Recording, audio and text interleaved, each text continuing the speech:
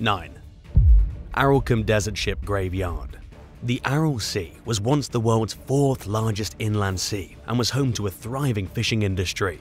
During the 1960s, the Soviet Union diverted the rivers feeding the Aral Sea to supply water for cotton and rice fields, causing the sea to dry up, leaving behind a poisonous, salty wasteland now known as the Aralkum Desert. Straddling the border of modern-day Kazakhstan and Uzbekistan, the Aralkum Desert is littered with rusting fishing boats that were abandoned when the Aral Sea shrunk, and its salt content reached toxic levels, killing all of its marine life. What little is left of the Aral Sea is now just a tenth of its former size, and its fishing industry is a distant memory marked by the decaying trawlers. Much of the Ghost Fleet lies at the edge of what was once the bustling harbour city of Moynak. The abandoned ships throughout the desert are accompanied by derelict buildings that were part of Moynak and other busy seaside towns years ago.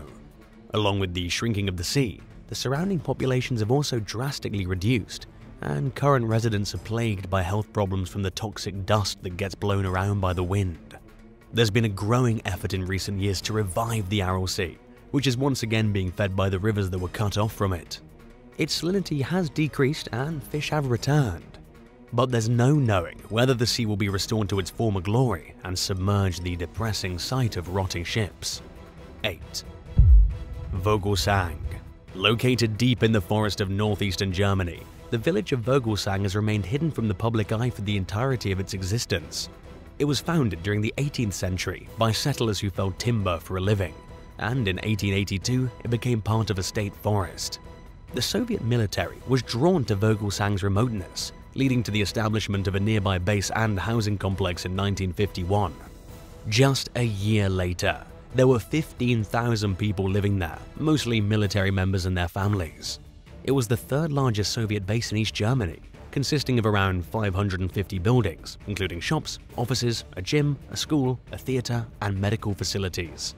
The Soviets managed to keep Vogelsang a complete secret from German civilians, and even moved nuclear weapons into the settlement right under the population's nose. They carried out their training exercises at night to avoid being detected. It's unclear how long the Soviets kept nuclear weapons at Vogelsang, Official records state that they were removed in 1959, but American and British military intelligence found that the missiles might have remained there until after the Cuban Missile Crisis. The Russian military abandoned the site in 1994, leaving behind communist-era relics, including an obelisk featuring a carving of Vladimir Lenin and artwork depicting soldiers, military equipment, workers, and farmers.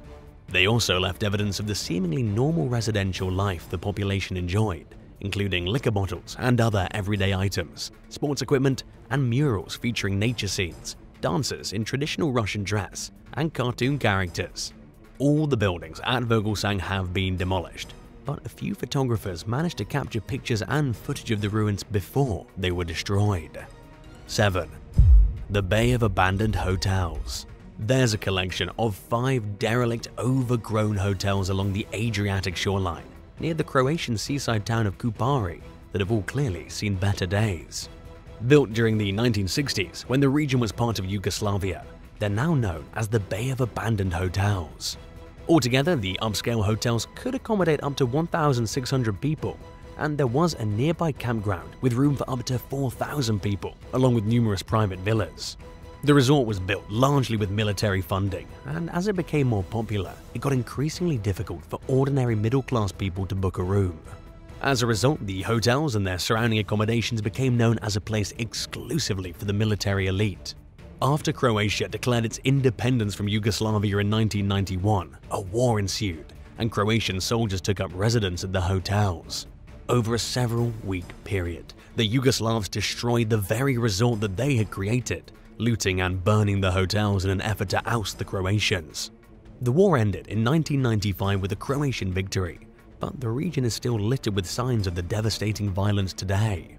Once bustling properties have been left to decay, but the area has seen an increased number of visitors in recent years, and the deteriorating hotels are catching the attention of investors, indicating that perhaps the property will be revived sometime in the near future. 6. Calico Located in San Bernardino County in Southern California, Calico was founded as a silver mining town in 1881 in the Calico Mountains of the Mojave Desert. In the mid-1880s, it became the epicenter of California's silver industry. It all started when a group of prospectors discovered silver in the area, which was quickly followed by the construction of a post office, three hotels, five general stores, and numerous bars and brothels. The county also established a school district, along with several boarding houses, restaurants, and other businesses. Town officials were also appointed, including two constables, a justice of the peace, five commissioners, and two doctors. By 1885, Calico's population had grown to around 1,200 residents, and there were at least 500 nearby mines. There were also telephone and telegraph services, including a Wells Fargo offices, which was often seen as a symbol of the so-called American dream. Calico's population peaked at around 3,500 residents in 1890, with Chinese, English, Irish, Greek, French, and Dutch nationals all living within the town, along with Americans. But the town's glory days came to an abrupt end in 1896, when the value of silver diminished rapidly, causing local mines to shut down en masse. The post office closed the following year, and by the turn of the century, Calico was a ghost town, and it remains one to this day. It's a sad but not uncommon story in the American chapter of westward expansion, and any attempts to revive the town as anything other than a tourist attraction have predictably failed. Have you ever been to an abandoned ghost town? Tell us about your experience in the comments below, and hit subscribe while you're at it. 5. Chaiten in 2008, the Chaiten volcano in Chilean Patagonia erupted violently after sitting dormant for over 9,000 years, hurling ash to an altitude of more than 10 miles. It was the first rhyolitic eruption to be observed in modern times. Rhyolitic eruptions are highly explosive, causing magma to spew catastrophically toward the sky and all over the surrounding environs. Volcanic ash rained down on the town of Chaiten six miles away, while mudflows caused the banks of the nearby Blanco River to burst, turning one of the town's streets into a new channel. Around 5,000 residents were evacuated as buildings were buried in up to 5 feet of sediment. In the meantime, the nearby airport and marine facilities sustained extensive damage.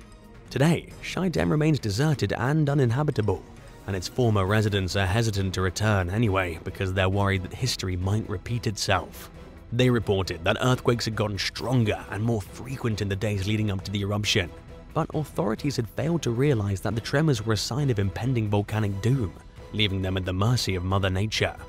Even the Chilean Geological Survey, SERNAGEOMIN, considered the volcano a non-threat and weren't monitoring it prior to the eruption, and the settlers who founded Chaiten in 1940 were also unaware of the nearby danger. In response to the eruption, the Chilean government relocated the former residents of Chaiten and began working closely with scientists to develop a nationwide plan for addressing volcanic hazards. But the village itself remains partially buried and frozen in time. 4.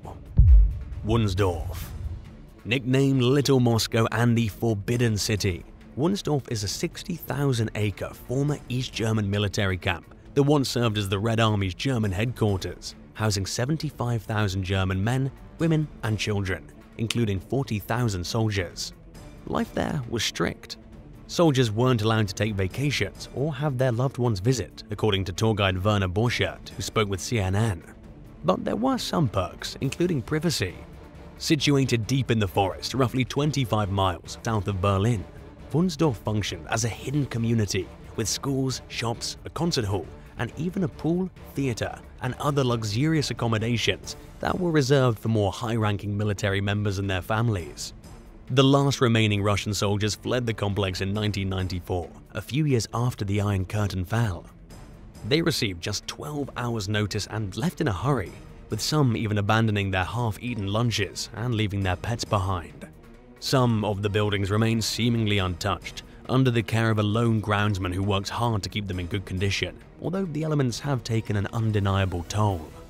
Two statues of Vladimir Lenin sit outside, and the structures remain filled with Cold War era artwork. Other buildings have been repurposed, including the former soldiers' barracks, which were converted into residential apartments. Wunsdorf is one of the few out of the many abandoned former Soviet sites throughout Germany that's open to the public, giving visitors an opportunity to peer back to a time that feels like it happened much longer ago than it actually did. 3. Alima Island From 1912 to 1943, Italy's fascist regime, known as the Kingdom of Italy, occupied the Greek Dodecanese Islands. Its navy, the Regia Marina, used Alima Island as a military outpost and a submarine base. During World War II, the Nazis began to question Italy's loyalty as an Axis power. To be safe, the Germans decided that they wanted Alima and its surrounding islands to themselves.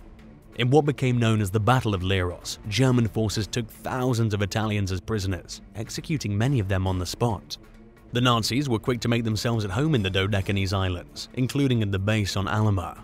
The following year, seven British commandos attacked the harbour in an attempt to destroy German submarines there. They were quickly captured, and six of the seven British men were executed. Meanwhile, many citizens were deported from Alima for trying to help the commandos. The last remaining family on Alima eventually left to seek better opportunities, and nobody's lived there since the 60s. In 1987, the deserted village was declared a protected settlement.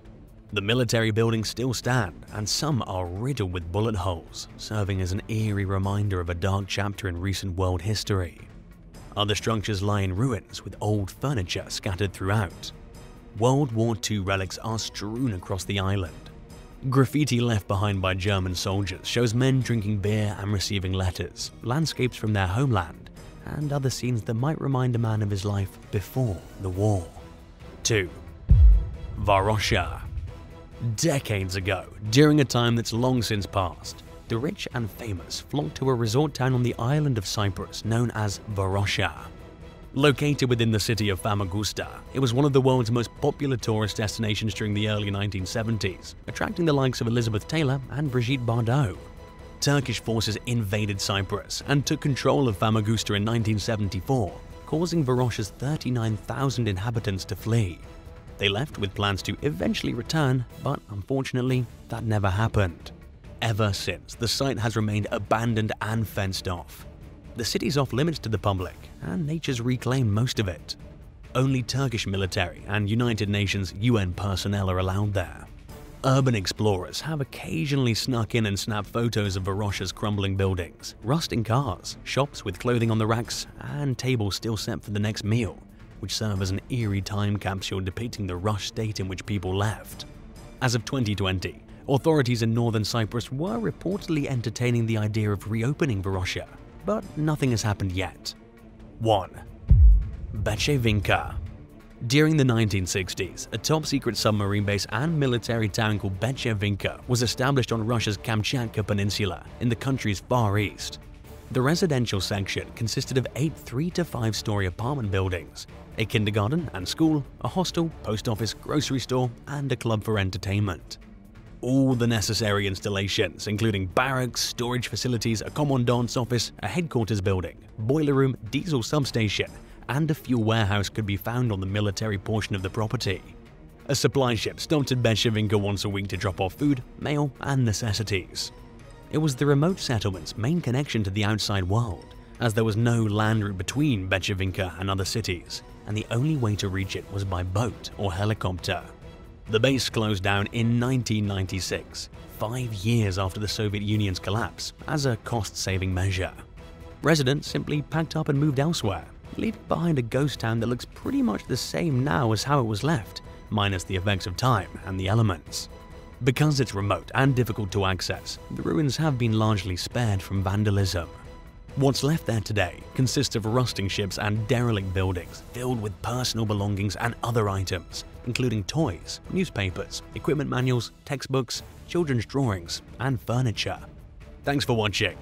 Which of these abandoned towns would you like to visit? Let us know in the comments below and don't forget to subscribe. See you next time. Bye.